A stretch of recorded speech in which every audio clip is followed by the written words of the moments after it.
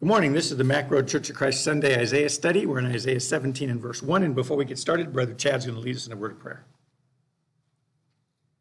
Dear Father in heaven, we're so thankful to be able to be here this morning and to hear a lesson from your word. We're, we're thankful for Mike for preparing this material and presenting it to us, Father. Be with us as hearers to take in that information and learn from it. We're thankful for your son, Jesus, that came down to earth and died for our sins. And it's in his name we pray. Amen. Amen. All right, so if you, if you don't have your little workbook, you're going to need it today. There's a, a I made, made a couple up there.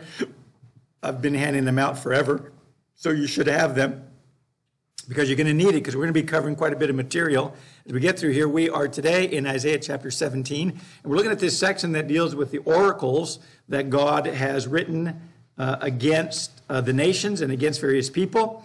Uh, we are in um, 17 uh, or 16 through 18 is, is our lesson that we're, we're at, which is page 44 on your notes. So you want to turn there because we're going to be looking at the outline on chapter 17 and 18. Because, like I said last week, we're not going to be able to cover every single verse, or else we're going to spend forever in Isaiah. I gave you most of the important uh, concepts and ideas. And so now we're just going to skim through a bunch of stuff. As we go through this, remember that all of these oracles or these burdens, depending on if you have the King James Version, King James Version calls them oracles uh, or burdens. The New American Standard renders it oracles. Uh, they're, they're simply messages about a judgment that God has on various groups and various um, um, nations. And you remember that in the first um, uh, 12, God was dealing with Israel and the judgment on them. And then in verses 13 through 15, God began to deal with the nations. And we're in that section that runs all the way to chapter 24. So, like I said, we're going to cover a lot of these. Also, remember that it's written in what's referred to as apocalyptic language. Apocalyptic language, I don't know if you ever saw the movie uh, uh, uh, Apocalypse Now, which was about the Vietnam War. At the very beginning, it had all these helicopters flying by and these jets, and it was it had a lot of a lot of animation to it. And, and that's what apocalypse means. Apocalypse means it's exaggerated, it, it's, it's vivid, it's kind of in your face type stuff. So remember that it's, it's actually poetic language. So if you're looking for, uh, for fulfillment of every single detail, you might not get them at least and not the way not in the way that you're thinking because they're not meant to be necessarily taken each individual thing literally but they're pictures of things that are going on during the judgments. And so in chapter 17, we covered chapter 16 last week. And if you look on your paper there on page 44, and like I said, there's booklets up there if you need one. On page 44, which covered the burden uh, of Moab in chapter 16, you had uh, the fact that God was bringing judgment on Moab and what Moab was going to do as a result of that. And so now we're down here in chapter 17. And if you look on your notes, it says uh, uh, on page 44 there in your notes, it says uh, the burden of Syria and Israel, the 10 northern tribes. So remember that as we're looking at these individuals, we're looking at the time that these 10 tribes are getting carried away into captivity. And this burden has to do with that time period. And so you, you have here uh, in verse in chapter 17, and if you if you look on your on your outline there, uh, verses 1 through 5 deals with the destruction of Syria and Israel, probably during the rule of Ahaz. And so Ahaz is right here. Here's Ahaz. So it's right there during that period that probably this oracle was written. Oh, the other thing to remember is that it gives you an it might give you an oracle or a prophecy, and it doesn't necessarily mean that the prophecy is going to take place immediately, or that every single part of the prophecy will take place immediately. Uh, many times God gives us a prophecy, and it takes quite a while for it to finally develop all the way it's supposed to develop. So if you're looking for the fulfillment of this, like in a year or two, uh, it might not happen in a year or two. It might take decades uh, in order for them to happen. Uh, for example, when he when he speaks about Israel and about the destruction of the city of Israel, he writes about that during this time, but it doesn't happen until way over here in AD 70 doesn't happen until way over here in AD 70. And so even though the prophecy is made over here during this time period, it doesn't happen for another almost five, six hundred years. So remember that. Even as he speaks about the, the prophecies eh, that are going to happen, eh, they don't necessarily mean they're going to happen immediately, although some of the things will happen immediately, but the totality of the prophecy might take years in order for it to fully be uh, realized or fully be accomplished. And that doesn't mean that God's not keeping his promise. As a matter of fact, it means God is. He's remembering what his, what his prophecies were. So in, in Isaiah chapter 17, verse 1, uh, what you have here, as we pointed out in the first five verses, is we have the destruction of Syria and Israel. And so he starts off the oracle concerning Damascus, that's the capital of, of Syria during that time. Behold, Damascus is about to be removed from being a, a city and will become a fallen ruin. The city of uh, Aroer are forsaken. They will, they, they will be uh, flocks to, uh, they will be for flocks to lie down in, and there will be no one to frighten them.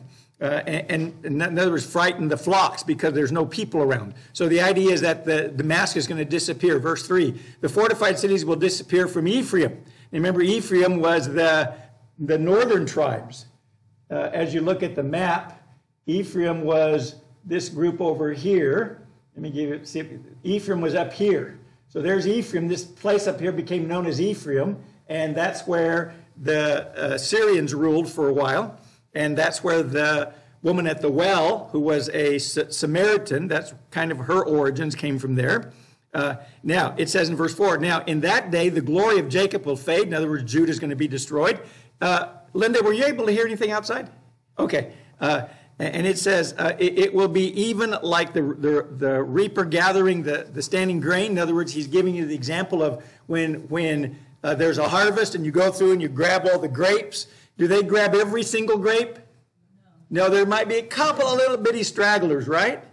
Well, that's the way it is when Assyria invades Israel, the 10 northern tribes. There's going to be a few people left, but pretty much they're going to be gone. And that's what he's talking about in the gleaning here. Verse 7, he says, In that day, man will have regard for his maker. In other words, during this time, when God has left only a remnant of this people, Israel over here, we go back over here to this chart uh, right, right here, God is going to leave a remnant of these people. That's who the woman at the well is. She's part of that remnant that was left right here when Israel was then occupied by, by Syria and they sent for a priest and they kind of became the half-breed group. Uh, but no doubt there were other people there. And so when Jesus, when Jesus comes over here during this time, during the rule of Jesus, he says, in that day man will have regard for his maker. In other words, after all of this happens, then they're going to turn to the Lord. And his eyes will look to the Holy One of Israel. In other words, they had been over here. The reason they fell was because they were worshiping idols. But now over here, they're going to turn to God and they're going to follow God. He says, uh, in verse 8, he, he will not have regard for, for the altars, the work of his hands, nor will he look to that which his fingers have made, even the Asherim and incense stands. So, in other words, they had been following idols here, but during this time over here, they're not going to follow idols. During this time over here, you and I don't follow idols. You and I follow God.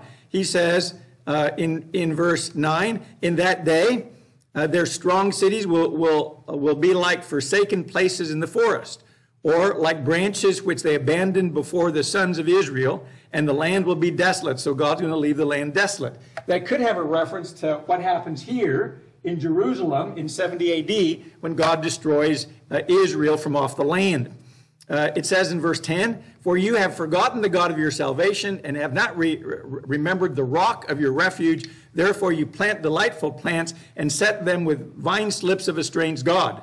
In other words, when God is destroying them, when God is bringing this destruction on them, he's telling them why, and that is because they have become idolatrous. Verse 11 says, In that day uh, that you uh, plant it, you carefully fence it in, and in the morning you, you bring your seed to blossom, but the harvest will be a heap in, in a day of sickness and incurable pain. Alas, the uproar of many peoples who roar like the roaring of the seas, and the rumbling of nations who rush on like the rumbling of, of mighty water. And so he talks about here in, in verse 12, uh, he talks about the, the overthrow of the enemy of, uh, and the army that God is going to use to overthrow those who are wicked, whether it's Israel or Damascus, when, when, they're, when they're wicked. Okay? And so in verse uh, 14, he says, or in verse 13, he says, The nations rumble like the rumbling of many waters, but he will rebuke them and they will flee, flee far away. So the nations that came against Israel over here, even though God used Syria in order to destroy or to uh, chastise Israel, the 10 northern tribes, uh, they are going to come to an end themselves, it says, and be, and be ch- chased, uh, uh, chased like shaft in the mountain before the wind, or like whirling dust before a, a gale. At evening time, behold, there is terror. Before morning, there, uh, uh, they are no more. Such will be the portions of those who plunder us and the lot of those who pillage us. So, as God talks about the judgment he's bringing on them through Assyria, or through Syria, he also says that Syria is going to be punished. That's why this oracle is about Damascus, but it also includes Israel in here, and it includes the fact that God is going to restore those people who are faithful to him during this time period over here where Jesus comes. Now, uh, one of the things to think about is these people died, right? They died over here. So how does this do them any good over here? If they, if they died over here in 606 or around that period, how does what happens over here in 33 AD, how does that help them?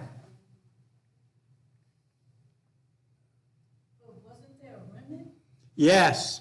The reason it helps them is because the sacrifice of Jesus goes backwards and forward. So the people who died over here who were faithful to God, that remnant, those people that were trying to serve the Lord, the blood of Jesus cleanses them, and that's when they become part of God's family, and that's when they become a part of His church that you and I are part of, whether it's here in, in a physical realm that we can see, or whether it's up in heaven, we're all part of the same uh, kingdom or the same rule. So remember that as we go through here.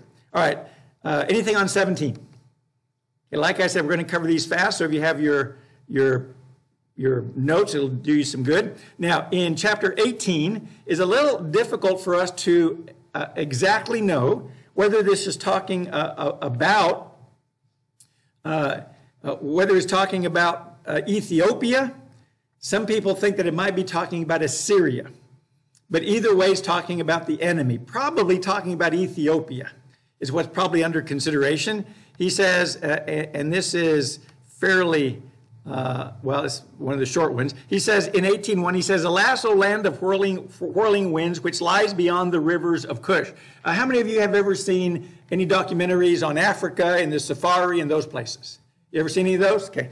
Uh, have you noticed that almost every time you watch one of those, you can see somewhere in the background whirling wind and like a little like a little tornadoes. You know, we call them dirt devils, right? Little dirt devils flying around. Well, that's what he's talking about here. So, so these are the people from Ethiopia or the area of Africa around that around that area. He says, which send envoys by the sea, even in papyrus vessels on the surface of the waters, go, uh, uh go uh, swift messengers to the nation tall and smooth, to a people uh, feared far and wide, a powerful and an oppressive nation whose land the rivers divide. So that they sent their, their envoys uh, to come against uh, Israel, and, and, yet God is sending them back home. He's sending the messengers back home. Uh, in other words, they're, they're, they're not going to accomplish their task. Verse 3 He's all, all you inhabitants of, of, of the world and dwellers on earth, as soon as the standard is raised on the mountain, you will see it and as soon as the trumpet is blown, you will hear it. And so in uh, verse 3, he's talking about the nations are called to witness what's going on. So God often calls the, the a witness when he's going to do something. Uh, whenever you testify in court, you always call a witness. Whenever you notarize something, you always have witnesses that sign, right? And the witnesses verify that you're going to do what you said you, you did. And, and that's, what, that's what you have here in verse 3 when he talks about all, uh, all, you inhabitants of the world and dwellers on earth, he's calling them as witness. Come see, come look at what's going on. Because God's going to do this. Now, verse 4. He says, For thus the Lord has told me, I will look from my dwelling place quiet, uh, quiet, uh, quietly, like uh, dazzling heat in the, in the sunshine, like a cloud of dew in the heat of the harvest. Now, uh, again, remember, this is apocalyptic language It's kind of difficult sometimes to figure out what he's saying, but it, sa- it sounds like what he's saying in, in verse 4 is that God is going to look like he's ignoring the situation. As this is happening, it looks like God is, ignoring the situation. But in verse 5, it says uh, uh, that God is actually going to be with Israel and he's going to defeat the enemy. He says, For, for before the harvest, as soon as the bud blossoms and the flower becomes a ripening uh, grape, then he will cut off the sprigs with, with pruning knives and remove and cut away the, the spreading branches. In other words, uh, what God's saying is that uh, oftentimes, in order for, for discipline to happen, what does it have to look like? When you discipline your children, what does it look like to them when you're disciplining them? Matter of fact, we all say the same thing. What do we, what do we tell them if we're going to spank them? It, it's going to hurt us more than it hurts you. You don't think this is for your good. It looks like I don't care because I'm going to spank you. And it looks like I don't care, but it's actually, I'm doing it for your good, right? That's what this is saying as far as the nations go. It, it, God is stepping back while he allows these things to happen so that Israel will learn to depend and trust on God. That's, that's why God is doing this. But he's going to cut the branches down. He is going to, he is going to help them. Verse 6, he says, uh, they will be left together for mountain birds of prey and for the beasts of the earth, and the birds of prey will spend the summer feeding on them, and all the beasts of the earth will, will spend uh, harvest time on them. In other words, they're going to be destroyed like a, a uh, gleaning of a, of a field, and then after they glean it, the birds come down and they eat what's left, and they take what's left, and the animals take what's left, and the, the individual doesn't care. That's what's going to happen to the nations that are against Israel. Verse 7, he says, At this time, or at that time, a gift of homage will be brought to the Lord of hosts from the people tall and smooth, even from a people feared far and wide, a powerful and oppressive nation whose land the rivers divide, to the place of the name of. Uh, to the place of the name of the Lord of hosts, even Mount uh, Zion. So he even talks about, about the Ethiopians, that after God uses them and basically turns them into a third world country, that they too will be able to come to God over here, and they too will be able to bring gifts to God, and they will be able to be saved if they're faithful to God. Because the promise to Abraham over here was for who? All nations. And the Ethiopians are a nation, right?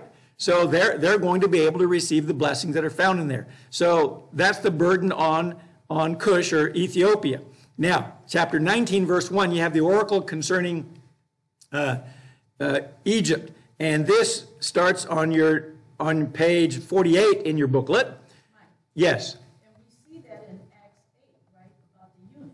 Yeah, the Ethiopian eunuch. Yeah, the Ethiopian eunuch was baptized in Acts 8, and it specifically mentions he's from Ethiopia, so that we understand that God's fulfilling his promise that he said over here. And so remember that, that, he, that God's plan is to save everybody, not just to save the Jews, but to save everybody, right? But he uses different means for however he can in order to save them. Now, chapter 19. In chapter 19 is the oracle concerning uh, Egypt. So this wasn't happening. Now remember Egypt on our map, in case you don't quite remember, Egypt is right, uh, come on, don't, there it is. Egypt is right there. See, there's Egypt. Now, you can't see it real well, but here's Canaan. Here's the, the uh, Dead Sea. Here's the Sea of Galilee. So this is the land of Israel when they go in and possess the land from the Canaanites. They're going to go and possess this land and a little bit on this side. And here's Egypt down here, and Egypt was considered a world power. They were considered a world power during this time. So if you wanted, if you wanted to uh, fight, uh, if you were a nation and you wanted to fight against another nation, but you weren't very strong, who would you go to help for? To Egypt. Just like today, when uh, um, who did Russia invade? You thank you, Ukraine. Uh, when Russia invaded Ukraine, who did they come to for help? Us. They came to us, and we're sending them billions of dollars for the war, right? But so you go to you go to a, a you go to a world power, somebody that can help you. Well, that's what you got going on in here. Egypt or uh, uh, Israel and Judah, Israel, Israel up here, and Judah right here. When they got into trouble, rather than trusting God, when they were in their unfaithful periods, rather than trusting God, when a nation was going to come against them, they would run over here to Egypt. And they would make agreements with Egypt. Egypt, come save us. If, if the Assyrians come or the Babylonians come, will you come and fight, fight with us and help us? And, and, and that way we can defeat them, right? Chapter 19. And so basically in chapter 19, what you have is the fact that God turns Egypt into what you and I refer to as a third world country. Now, a third world country means that they are a country, they're recognized as a country, but they're not of real significance. What's the last thing you've ever heard that Egypt has done or accomplished? they're a good place to visit because they have the pyramids and all that stuff, but politically and, and nationally, they haven't really done anything. Well, why? Because God turned them into a third world country, and here's where He's doing this. Now, as He does that, we want to look at some apocalyptic literature so that we can understand Isaiah Isaiah 11 1. The oracle concerning Egypt Behold, the Lord is riding on a swift cloud and is about to come to Egypt. The idols of Egypt will tremble at his presence, and the heart of the Egyptians will melt within them. Now, I want you to notice how it says that, that he is coming to them. How, how's he coming to them? He's riding on a cloud. That's how he's going to come to them. He's, he's riding on a cloud. Now, do you remember when, when Jesus was uh, being tried? And in Matthew chapter 26, and they were asking him, Are you the king of Israel? The, the Pharisees were, and, the, and the, the, the Sanhedrin was, right? And Jesus, and they made Jesus swear. They said, Do you swear? Do you, you know, we're, we're putting you under an oath. If you were put under an oath, you were supposed to answer the question. That's the only reason why Jesus answered the question. And Jesus said to them, You have said it yourself. Nevertheless, I tell you hereafter, you will see the Son of Man sitting at the right hand of God, of power, and coming on the clouds of heaven. Then the high priest tore his robes and said, He has blasphemed. What further need do we have of witnesses? Behold, you have now heard of the blasphemy. So the idea of coming on the clouds is the idea of God's presence coming. It's the idea of God coming in judgment. Uh, and, and that's also found uh, in Matthew, where, where uh, um, in Matthew chapter 24, where Jesus is talking about the destruction of Jerusalem, and he says that they're going to see him come in the clouds. Uh, let me see if I can find that for you real fast here. Um, in uh, Isaiah, in Matthew 24 and verse 29, it says, "But immediately after the tribulation of those days, the sun will be darkened, and the moon will not give its light, and the stars of heaven will fall from, from the sky, and the powers of the heavens will be shaken, and the, and then the sign of the Son of Man will appear in the sky." And then all the tribes of the earth will mourn, and they, uh, and they will see the Son of Man coming on the clouds of the sky with power and great glory. Now, that's referring to the destruction of Jerusalem. And it says that he's coming in the clouds. Now, here's what I want to ask you. When Jesus came at that time, did they physically see him? No. They didn't physically see him. Well, he said he's coming in the clouds. Well, he did. Now, the reason he, he mentioned clouds is because, like I pointed out last week, fog comes from where? From the ground. Where do clouds come from? From God. So God is coming down and he's uh, going to destroy the, the uh, uh, Jewish uh, religious system in 70 AD and destroy Jerusalem and destroy the, the, the temple right, uh, by the Roman Empire. And when he does that, he says that's the Son of Man coming in the clouds with power and great glory.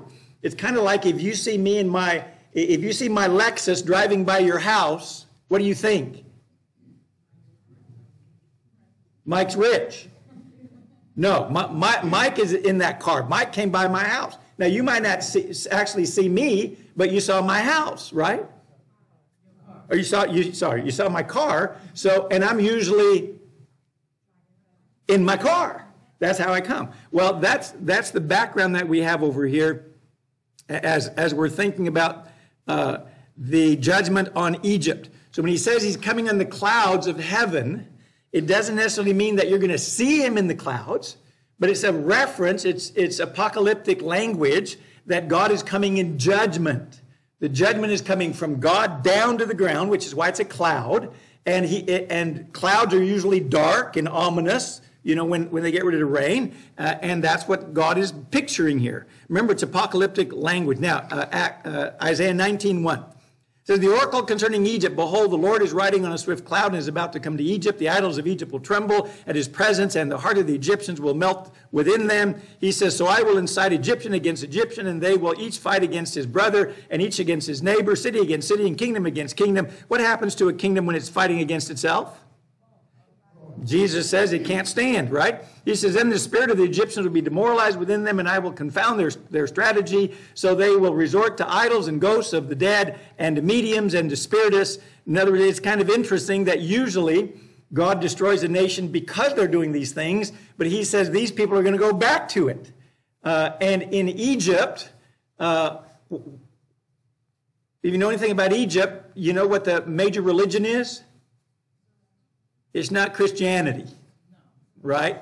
Okay, it, it's still the, the, the, the Egyptian idols and those things that they still worship. Now, verse 3 says, uh, um, um, verse 4 says, Moreover, I will deliver Egyptian into the hand of a cruel master. In other words, they're going to be defeated. And a mighty king will rule over them. That's probably Assyria or, or uh, Babylon, declares the Lord of uh, God of hosts. The waters from the sea will dry up, and the river will be parched and dry. In other words, they're going to be able to cross over into the land quite easily. Verse 6 says, The canals will, emit a stench, the streams of Egypt will thin out and dry up, the, the reeds and the rushes will rot away. In other words, when, you, when, you, when a lake or a river quits having water in it, what happens to the vegetation around it? It dies and rots, and the fish rot, right? That's what he's describing here. Uh, verse 8, he says, And the fishermen will lament because there's no more fish, and all those who cast a, line into the Nile will mourn, and those who spread nets on the waters will pine away. Now, it's not really talking about the, the uh, uh, Nile River, it's talking about the people of, of Egypt who depended on the Nile River. And, and so, you know, you would go down to Egypt to do business with them. You would find individuals that you could make money off of, like fish that you make money off of. And God's describing now they go down and nobody makes money off of Egypt unless you go down there to, to be a tourist, okay? Uh, it says in verse 9, moreover, that the manufacturers of linen made from combed flax and, and the weavers' uh, white cloth will be utterly dejected. In other words, their, their uh, manufacturing society is going to come to an end. He says in verse 10, and the pillars of Egypt will be crushed, and the hired laborers will, will be grieved in soul. In other words, there's no work for them. The, the princes of, of Zoan are mere fools. The ad- advice of Pharaoh's wisest advisors has become stupid. How can you men say to Pharaoh, I am a son of the wise, a son of the ancient king? In other words, their, Pharaoh didn't help them. You know, they claimed Pharaoh was a god. And he says, how foolish that they're, they're depending on that. Verse 12. He says, Well, then, uh, where are your wise men? Please let them tell you and let them understand what the Lord of hosts has purposed against Egypt. So Egypt should learn something. Now, one of the things that, that as you go through these nations that I hope you learn is that God isn't just dealing with Israel, He's dealing with all the nations. And the things that happen on a national level are happening because God is trying to produce fruit from all the nations. That's why it's happening. Sometimes people go, look at America, look at the stuff that's happening in America. Why is God letting it happen? Because God is trying to get fruit.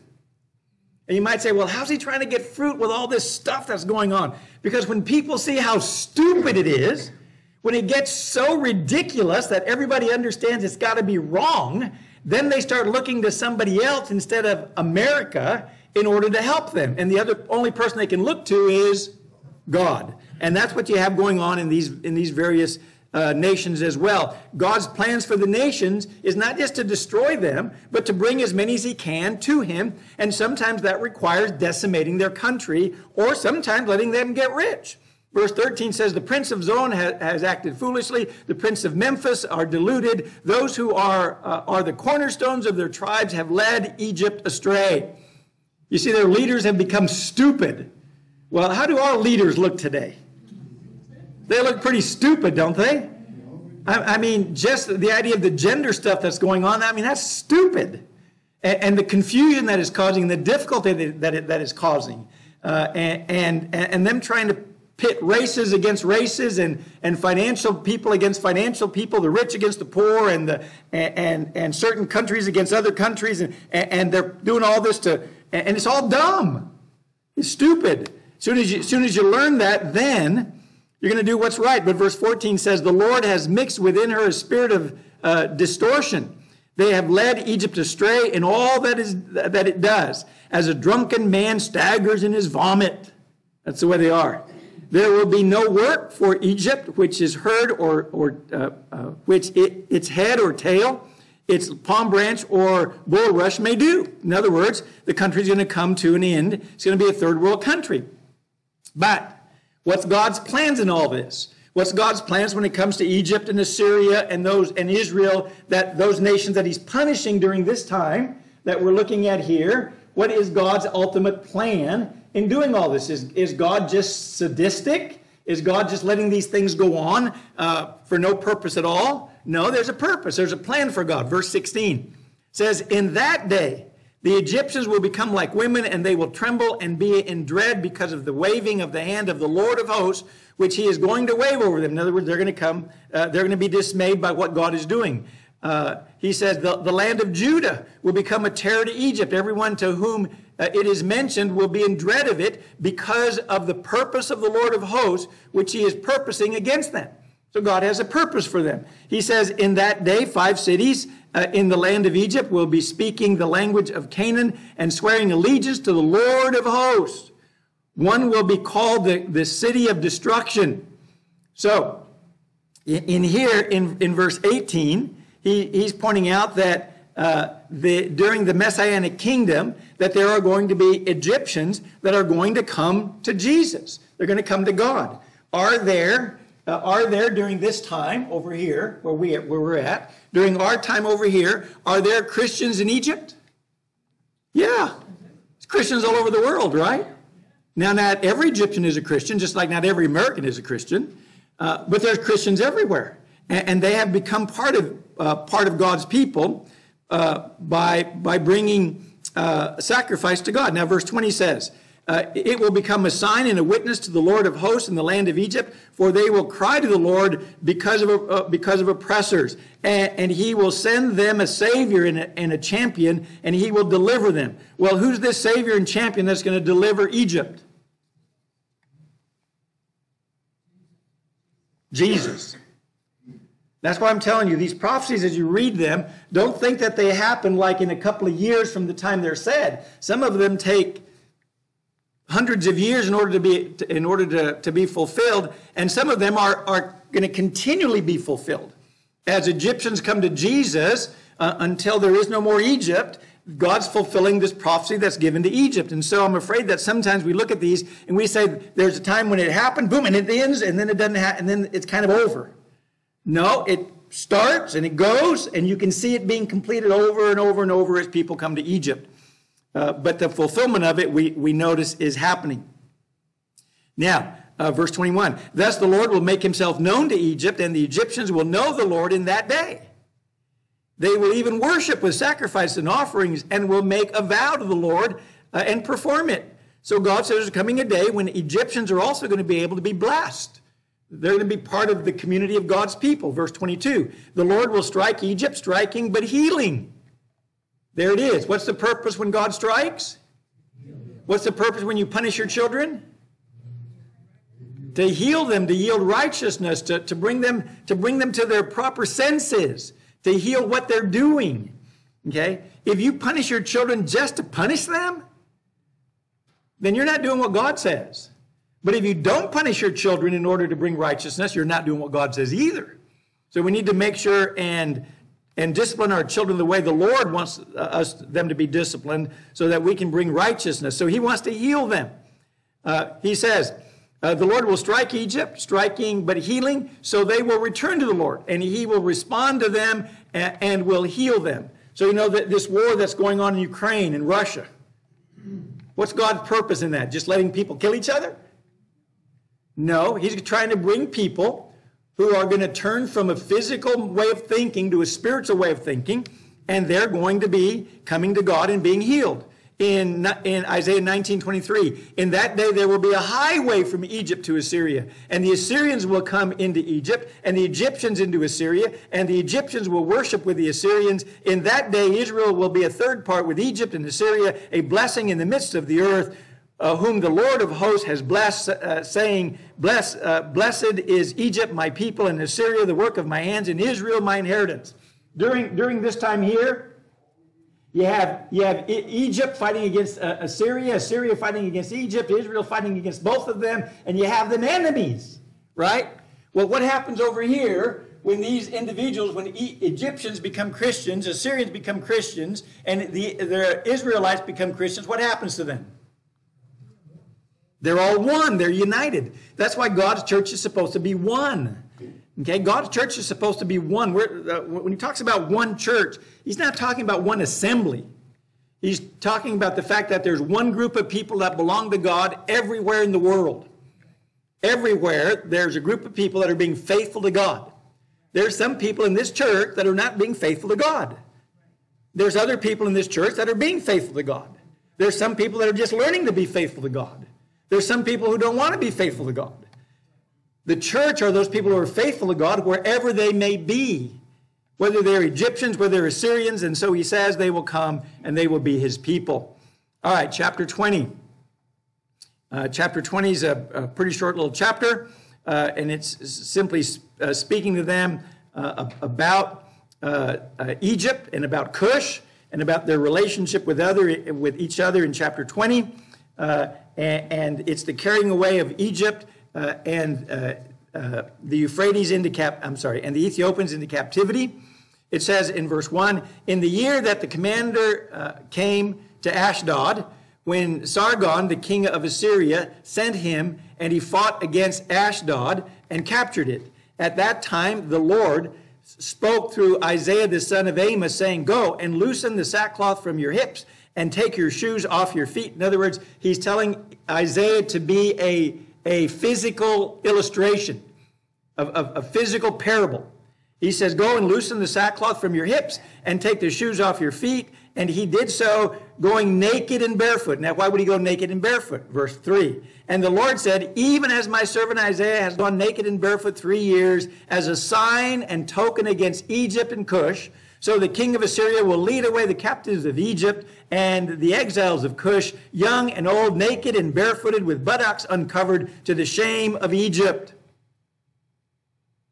Uh, where did my cursor go? There it is. To the shame of Egypt. He says, Then they will be dismayed and ashamed because of Cush, their hope, and Egypt, their boast.